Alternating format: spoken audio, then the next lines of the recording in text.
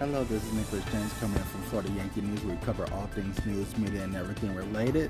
Let's get to all the news stories for the rest of the day.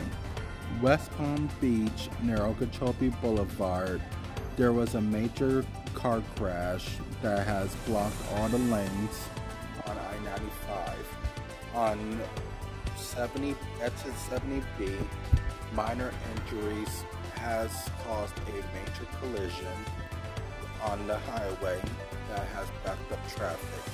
According to the news right now near Mar-a-Lago, it is officially considered that it is still blocked until further notice. Another unfortunate news, Destiny Bossy, 22-year-old, was killed in a 2020 Malibu 2020 Malibu vehicle when a frontal car crash resulted in a airbag, a counterfeit airbag that was sold illegally by Rent-A-Car that has enacted a Florida lawsuit.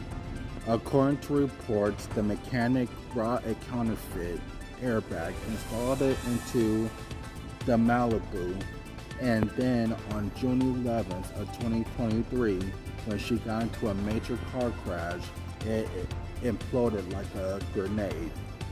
It is considered a reckless situation, and according to the lawyers, they are pressing the big, the most charges that they can get, and they are suing both the state of Florida for even allowing it to be sold, as well as Rent-A-Car, which is one of the largest car rentals in the nation, as well as you can also purchase vehicles from them, which again resulted in the death of this young woman.